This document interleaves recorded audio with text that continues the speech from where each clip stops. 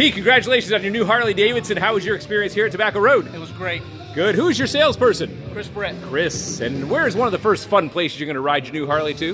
Um, probably up to the mountains. Uh, that sounds good. Hey, make sure you come by often so we can see you and your new Harley, okay? Thank you. Congratulations. Appreciate it.